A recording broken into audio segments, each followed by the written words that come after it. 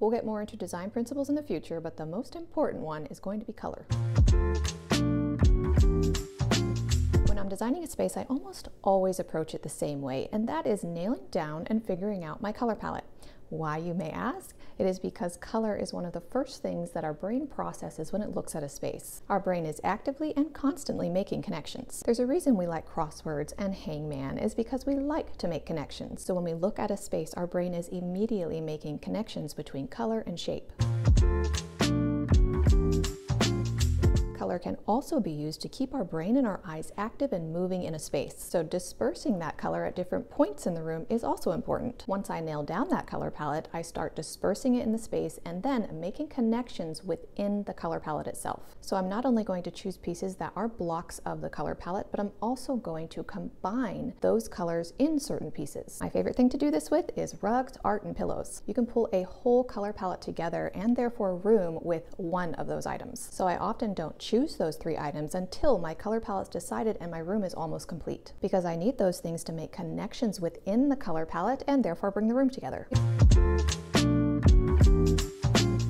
You might say, great, okay, I'm ready to start with a color palette. Now, what should that color palette be? A lot of times people don't realize that they already have one. I take everything into consideration that's already in the room that the client would like to keep, and that is going to be part of my color palette. For example, the flooring, the wall color, their sofa, their end table, anything in the room is going to be a color. The only colors that I give a pass to are black and white because they are void of color and can pretty much fit into any color palette. However, I do include black and white in my color palette if they are going to be the main colors of the room and not accents. Accents meaning trim or hardware, and main colors meaning walls or furniture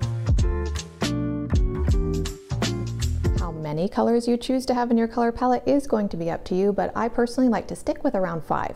If you go over that, it starts to become a little overwhelming if we are going to intentionally sprinkle all of these colors around the room.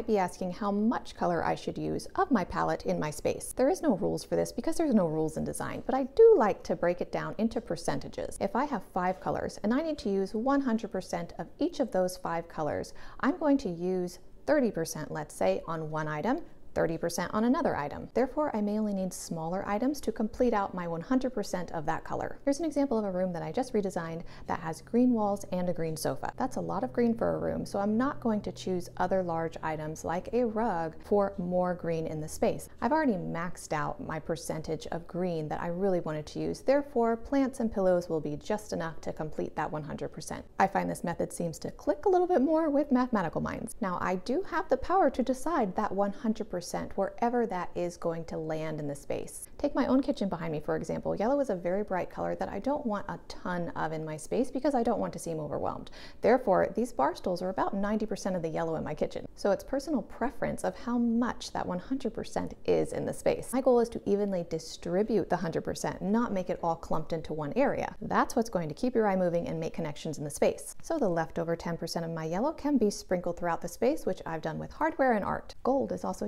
yellow if you're wondering. I just posted a TikTok redesign where I had a black, white, gold, and green color palette. Even though it's a simple color palette with a simple design, it is pleasing and cohesive to look at because we have evenly dispersed those colors through the space. My quotas for these colors were different, where black was not used heavily in the space, but it was intentionally sprinkled through the room. So my 100% of black was maybe 5 and 10% at a time throughout the room. I also chose to have the color green dispersed throughout this room in the foreground, middle, and background. The floor color was used on the pillows, the nightstands, and the frames on the wall and we're able to make that connection of white from one side of the room to the other. My eye is looking at this room and my brain is making lots of connections with color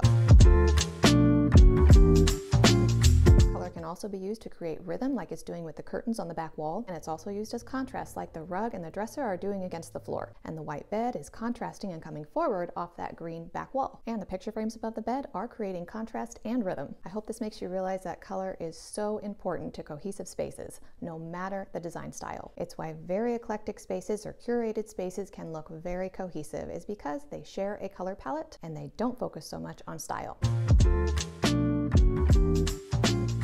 found designing spaces with this color approach is much easier for people to understand and execute in their own homes. It's a simple concept, but very effective when teaching people to be their own designer and be able to curate a space themselves. To recap, we are going to come up with a color palette and then disperse that color palette intentionally through the space, which allows our eye to travel the space and make connections, and hopefully ending up with a room that looks designed and intentional. Make sure to subscribe and follow for much more design content.